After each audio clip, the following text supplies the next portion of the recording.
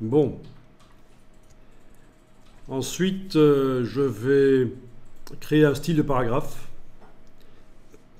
Donc, en ayant le curseur qui clignote n'importe où dans ce titre, je vais dans le menu de la palette euh, style de paragraphe demander de faire un nouveau style de paragraphe.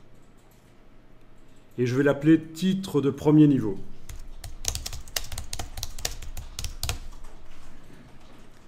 Je vais m'arranger pour ne pas avoir de parentage de paragraphe. Donc ici, là où il est indiqué d'après body, j'indique d'après aucun style.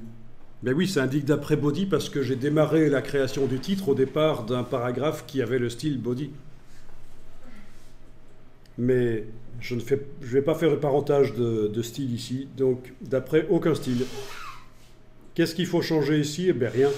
Tout a été prélevé dans le texte et ça a peuplé euh, les choses ici, euh, les réglages. 26 points, par exemple.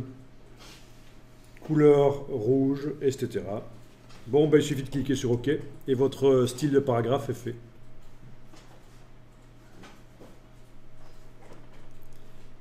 Il ne faut pas oublier d'appliquer le style qui vient d'être créé, l'appliquer euh, au texte qui, a servi à le créer.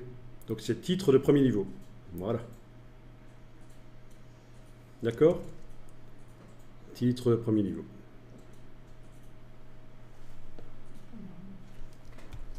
Bon, ben on va rapidement aller faire deux autres euh, titres de premier niveau dans le document. Donc vous allez plus loin et vous vous mettez au début d'un paragraphe, vous tapez le titre de deuxième niveau,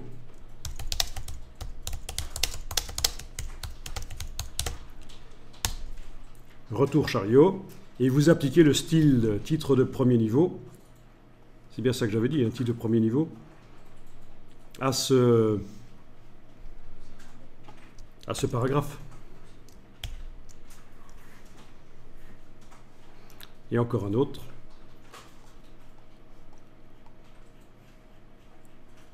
Sur une page plus loin.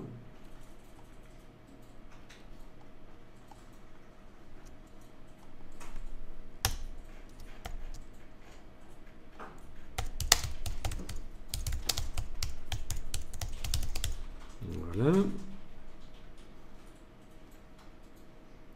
Voilà.